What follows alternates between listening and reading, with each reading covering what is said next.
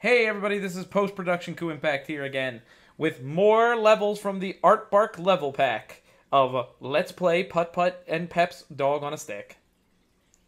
Uh, so this level pack is going to get interesting from this point on. We we've got a couple of interesting levels because Art Bark has used some of the tools that are in the like like to make these levels when you have the options to. There's a couple of unused things, and Art Artbark has used them as some demonstration for us. Our first level in here is Tricky Transfer. So, at first glance, this level looks like not much is going on here.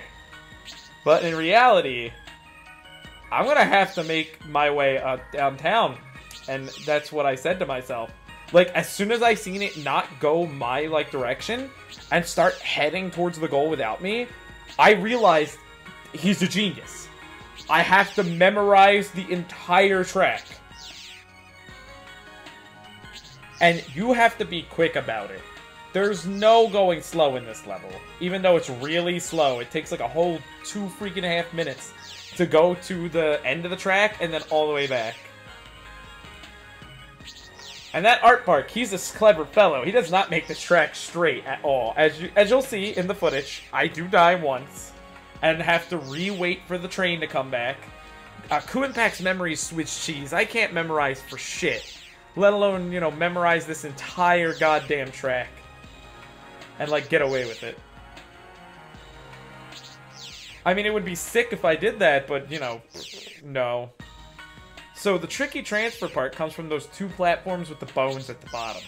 You need to, because you can't, the way the track works, supposedly, according to the, the little file I have about the, like where the level names are, it there's a note on some of them. Not all of them, but some of them. This one has a note. Tracks work in a weird way in this game, and you have to put them in a very specific way, or they don't move on the track correctly, and the trains on the tracks break because of like track spaces being too close to each other. So he did something really clever where the tracks never overlap and touch this whole level. It's one of a couple of combinations that do that. But to do it, Pep can only jump in a Q*bert-esque style. See, look, like I forgot right away and died. And now I have to wait for the platform to come all the way back. Since the game is Q*bert, but the trains don't follow the Q*bert rule with their tracks, as you, like, look at it move left or right right there. Pep can't jump like that. He has to go diagonally up or down. But you don't have a lot of time to catch that train again when you're jumping between the train already down to there. So you have to double jump down onto that bone platform and then re-jump back up when the train moves over. And you gotta do it twice in this track. So, you know, He's making sure you learned your lesson. At least it's got the sick-ass factory music playing.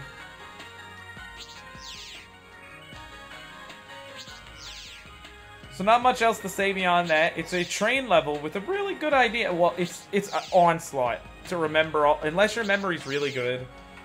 You you can easily end up losing all your lives on this level if it was a real level. I kids especially. I don't think they'd be able to memorize the whole track. This is some end game level shit.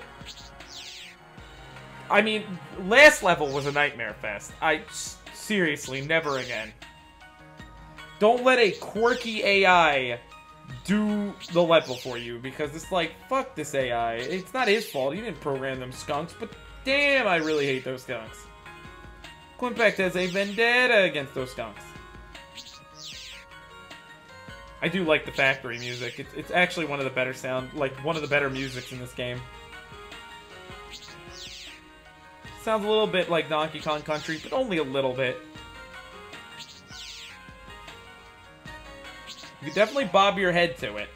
Okay, let's see if Goo gets it this time. Uh, spoiler alert, I do. It was clearly a very tricky track. Should have been called Tricky Track and not Tricky Transfer, but I get why he does that. I mean, at least the track's buffering while I'm recording, so it makes this a little bit easier. Like, doing the transfer part. On a computer that moves, like, faster while recording would probably not be so fun.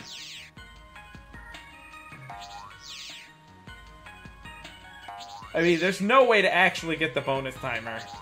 Because the game doesn't know how to set a longer bonus timer for the stage. It just assumes you can get on the track right away, but instead of waiting for it that first time.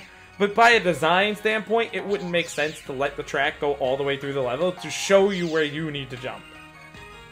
That's why I find this so clever. Well, I made it to the end, so that that's all that matters. I was had no time, so it just we're gonna skip ahead. Roundabout. Now this level, you you see what happened there? That button is floating in mid-air. So it turns out buttons aren't fully implemented to appearing on a platform. Also, we're in the gas station level, and this is like a V shape. A lot of things are not implemented to appear in the vanishing platforms. As you can see, the sparkle pad doesn't have its sparkles. I mean, they function, though. It's just not full implement. And look, now the button is gone over in the corner, so they're a bit glitchy. Uh-oh. Uh-oh! I don't want to die to that ball. See, level's fairly standard, really straightforward, and you just jump across. Alright, here's where shit gets real. Level's called Germaphobe. Now, I was like, I am not going over there. I, this is like three deaths later. Going over there got me killed several times. There's no way to jump through those guys. They will murder you. Also, the level looks really weird, so I started getting desperate. He wouldn't have placed that power P up there if there was no way to get to it. So look at what happens here. Recorded on footage for you. I just jump and what in the hell is this? Invisible platforms? I don't think they used those in the game once. Oh, and also we just witnessed that germ guy falling to his death. I don't know why he did that, but in this run he did it. So supposedly the blue glowing platforms were supposed to be a space-themed level that never got finished. And that's why it has a weird kitchen background. Uh, we'll get to the kitchen background in just a moment. The reason the space theme has this music is because uh, it plays the last music played, not having any music. Levels way easier. Germaphobe, I get the joke. Food Pyramid is our last and final level in the pack. I like the design of this level. It actually looks like Q*bert or the or a, tri a nearly complete Triforce. And this is the kitchen theme uh, I put beach music over it because that's what I wanted. I played a beach level and then I played this level. Because it felt appropriate. Like, look at this. This is legitimately a tough level. I mean, that goat up there has me fucked. He should have stayed down in his own can triangle like this goat. But he didn't. So now he's up there with Beach Ball Hell in their can triangle. And as you can see, the kitchen theme is like mostly complete. The level is functioning. It, it, it's it's got a little bit of lacking in the graphics below some of the cans, but this would have been a really cool level theme. So it's space. Space would have been a pretty cool one too, because Putt Putt does go to space. He, he went to the moon. And uh, now I get a, a run that's a lot better, as you can see. The exit's nowhere to be found. Now, Supposedly in the editor, it has one of these floating platform types, but they break in the game. They do whatever you see here. They kind of just break. he gives me two extra lives, that jerk. I lied. The guy designed a bonus level where the music doesn't work in the bonus level. It's just broken. Called Flower of Entropy. Because life isn't suffering enough. I have to catch all of these bonus boxes before time runs out in this level. Now this is my winning run. By the way, this is the winning run. The honking. I could have swore they would have got me there. And no, look where those jackasses are. These ass hats. And I don't even know how to get back to the middle. And I could have got that guy, but I, I, messed up. Oh my god, yeah, Ku was really fucking the bed in this level. Portals are the bane of my life. I'm stuck on this side of the map while these guys are all over the place. And I'm just like, oh, I got lucky. And they both worked on me. And I went, wow, I win. So this has been Putt Putt and Pep's Dog on a Stick, the Let's Play. Don't forget to subscribe, rate, and comment. Next time, Ku Impact is going to do the Oops All Berry Pole games and some Roller Coaster Tycoon right after that. So uh, don't forget to subscribe, rate, and comment. See you guys all next time. Ku Impact is signing off. Where is what's the the image is going away? Oh.